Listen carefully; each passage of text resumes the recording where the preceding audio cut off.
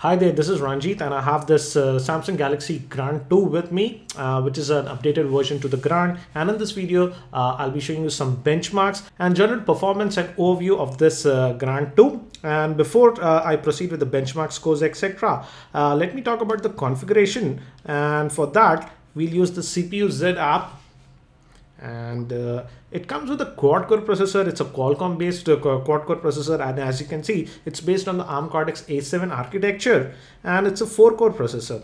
And it's clocked at 1.2 gigahertz. Uh, the gpu on this is a adreno 305 and as you can see it's a 4 core processor. And uh, it's a what do you say a snapdragon based chipset. It's actually the same uh, chipset uh, that was used on this motorola moto g and uh, one good thing about this phone is that it has 1.5 GB of RAM. Regarding the screen, it sports a 5.25 inch screen with a 720p HD display. And uh, internal storage is 8 gigs, and out of that, I think so you just get about 4.7 GB or so. And regarding the battery, the battery life was actually pretty good. It houses a 2600 milliampere battery, and I've been testing this Grand 2 now for almost about four days or so and uh, as my primary phone and I would say the battery life is pretty good. You can easily get about one and a half days of uh, usage with medium usage. So that's excellent. And regarding the sensors, again, yes, it does not have the most sensors, but Samsung has provided most of the important sensors that are needed. So let's get out of this configuration.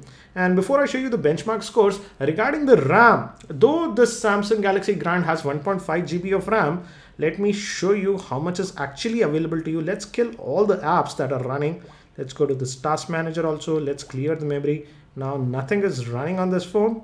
And uh, oops again we have to do it we have to go here and clear the memory. And as you can see it's everything is cleared.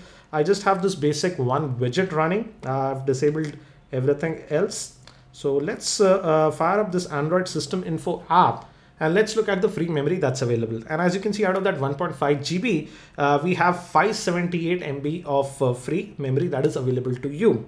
It could have been a lot higher, but again, it's a Samsung phone and it hosts this TouchWiz UI and you also get these additional things. For example, you have this My Magazine view and again, you can't disable this. So things like this do take up a little bit of RAM.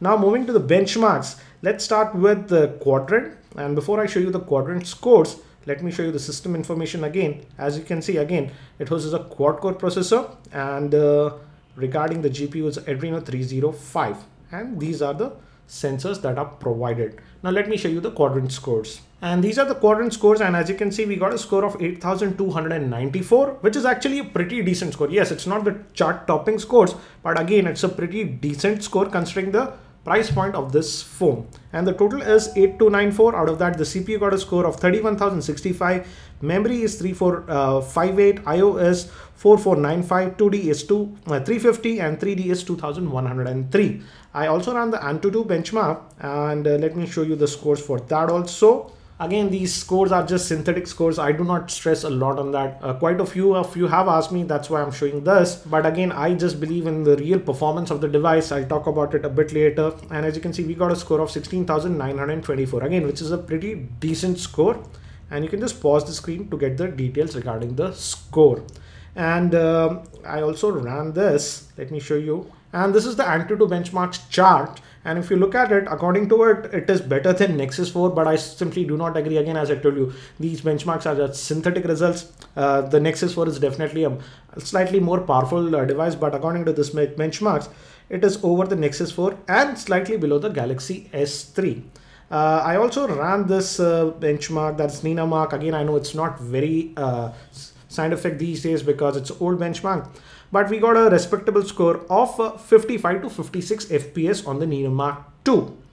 I actually also ran this Epic Citadel which is again uh, a graphic benchmark. So let me show you the scores for that also. And I ran the Epic Citadel in two modes. The first is the high performance default mode. In that, as you can see, it's maxed out and we got a score of 59 FPS but I also bumped up the graphic settings and then moved to the ultra high quality. And here we got a score of 32.2 this is not the uh, highest scores that we have seen but I would say considering the price point it's a very respectable score.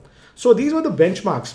But again as I told you I believe in the real world performance. And in that I would say the phone is performs decently, but again, I would say it's not completely lag free. Here and there, I did notice minor lags, but overall the performance was very good. I also played a lot of games with this casual games. I'll soon be also producing an in-depth review regarding the gaming performance. I'll test it with a lot of high-end games also. So again, I'll be posting that video very soon. So stay tuned to my channel. I've also made some other videos on the Grand 2. Links for all those videos will be in the show notes. That's it for now for this uh, quick video. Thank you. This is Ranjit and I hope to see you in my next video.